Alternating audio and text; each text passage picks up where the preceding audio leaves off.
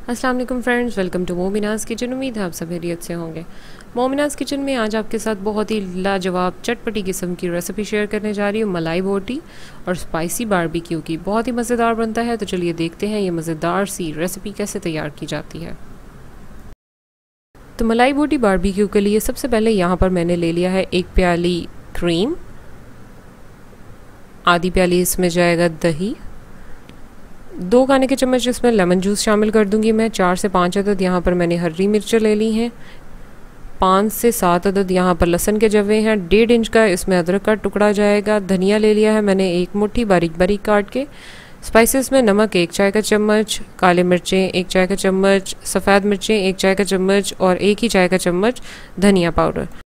तो इन तीनों चीज़ों को हम ग्राइंड करके फ़ाइन पेस्ट बना लेंगे। इसी दौरान यहाँ पर मैंने एक किलो चिकन ले लिया है, इसको एहतियात से, बड़े ही एहतियात से कट लगा लेंगे। तो इसमें सारे अज्जा अब इसमें शामिल करते जाएँगे और अच्छी तरह से इसको मिक्स करके तमाम अज्जा इसमें रच बस जाएँ। मैरिनेशन के लिए छोड़ देंगे। तो मैरिनेशन के लिए इसको तकरीबन पाँच से छः घंटे या फिर ओवरनाइट के लिए ज़रूर छोड़िएगा, क्योंकि मैरिनेशन जितने ज़्यादा टाइम के लिए होगी, उतना ही लजीज किस्म का आपका बारबेक्यू बनेगा। अच्छी तरह से इसको हाथों की मदद से स्पाइसेस को मिक्स कर लीजिएगा, ताकि तमाम अतराफ से बोटियाँ अच्छी तरह से कवर हो जाएँ और इसमें मसाले जज़ब हो जाएँ। तो चिकन को सॉफ्ट करने के लिए मैं यहाँ पर तीन से चार खाने के चम्मच ऑलिव ऑयल शामिल कर रही हूँ और इसको मिक्स करने के बाद फ्रिज में इसको मैरिनेशन के लिए छोड़ देंगे। स्पाइसी हॉट बारबेक्यू के लिए सबसे पहले यहाँ पर मेरे पास है आधा कप दही, एक खाने का चम्मच अदरक, एक खाने का चम्मच लहसुन, दो खाने के चम्मच जिसमें लेमन जूस जाएगा, एक चाय का चम्मच नमक एक चाय का चम्मच लाल मिर्चों का पाउडर और इस, के साथ साथ मैं शामिल करूँगी एक चाय का चम्मच गरम मसाला पाउडर आधा चाय का चमची इसमें जाएगा हल्दी पाउडर एक खाने का चम्मच खुश्क धनिया पाउडर और चंद कतरे मैं इसमें फ़ूड कलर शामिल करूँगी। तो स्पाइसी हॉट बारबेक्यू के लिए दोबारा से यहाँ पर मैंने एक किलो चिकन ले लिया है और इसको इस तरह से डीप कट्स लगा लिए हैं बड़े एहतियात के साथ।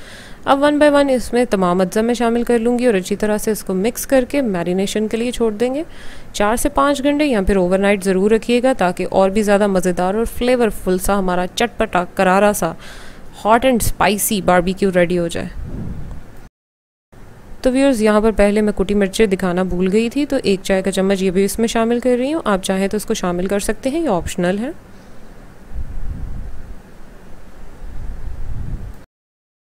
तो अच्छी तरह से हाथों की मदद से इसको मैरिनेट कर लेते हैं मिक्स कर लेते हैं, ताकि मसाले अच्छी तरह से अंदर चले जाएँ। खूबसूरत सा कलर देने के लिए मैंने यहाँ पर फ़ूड कलर यूज़ किया है। आप चाहें तो यूज़ कीजिएगा, इससे लुक भी बहुत खूबसूरत लगती है और देखने में भी और भी बुक को बढ़ा देती है। और पकने के बाद तो ये और भी ज़्यादा खूबसूरत लगेगा।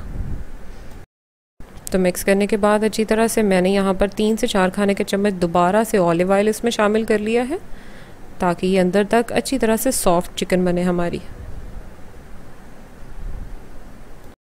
तो अब इसे कवर करके मैं फ्रिज में मैरिनेशन के लिए छोड़ दूँगी।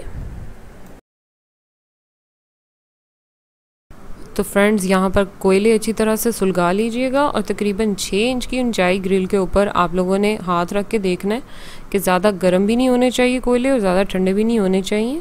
मतलब दरमियानी सी आँच होनी चाहिए इनकी, क्योंकि अगर ज़्यादा तेज़ होंगे तो बोटी बाहर से जल जाएगी और अंदर से कच्ची रह जाएगी। तो एक साइड से तकरीबन दो से तीन मिनट पकाने के बाद जैसे ही इस पर खूबसूरत से मार्क आना शुरू हो जाए, पलट लीजिएगा और दूसरी साइड से भी पका लीजिएगा। तो अगर आपको चिकन ड्राई लगे तो मैरिनेटेड जो हमारे पास सॉस बची थी, हम इसको ऊपर लगा सकते हैं। आप चाहे तो ऑयल भी लगा सकते हैं। इस तरह से इसको कोट कर लीजिएगा। बहुत ही मज़ेदार सा, जायकेदार सा हमारा बारबेक्यू चिकन रेडी हो जाएगा। ये मैं इसके ऊपर अप्लाई कर रही हूँ सॉसेस को।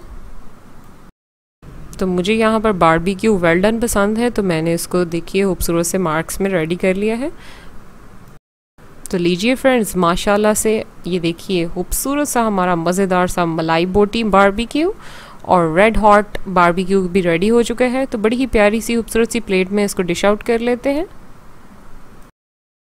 तो फ्रेंड्स इस मज़ेदार सी रेसिपी को ज़रूर ट्राई कीजिएगा अपनी दावतों में और मेहमानों को बना कर खिलाइएगा घर वालों को बना कर खिलाइएगा और दाद वसूल कीजिएगा। बहुत ही मज़ेदार बनती है और बहुत ही जायकेदार है, ज़रूर ट्राई कीजिएगा। रेकमेंड करती हूँ आपको। अपना बहुत सा ख्याल रखिएगा, मुझे दुआओं में याद रखिएगा और जाने से पहले मेरे चैनल को सब्सक्राइब करना मत भूलिएगा और बेल आइकन को भी प्रेस कर लीजिएगा। मुझे दीजिए इजाज़त। अल्लाह हाफिज़।